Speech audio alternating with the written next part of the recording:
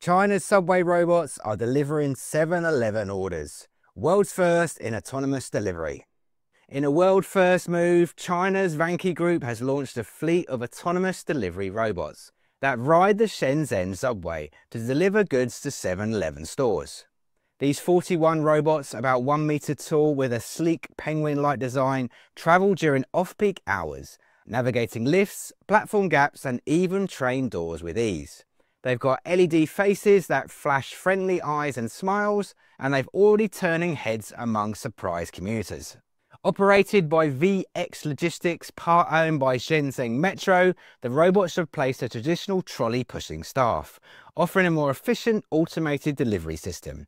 At each station, they exit the train and head straight to the stores to drop off the supplies.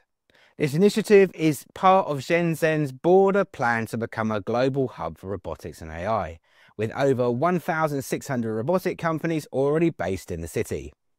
So yes, in Shenzhen, even convenience store snacks might arrive on the subway, courtesy of a robot that looks just like it stepped out of a sci-fi film. And that's your robot news update for today. If you're curious about how robotics can transform your business, join me for my weekly live Robot Optimized workshop. It's packed with insights, trends and practical tips. Don't forget to subscribe to stay in the loop with the latest updates. I'm Robo Phil from Robot Philosophy. Thanks for watching and I'll see you next time.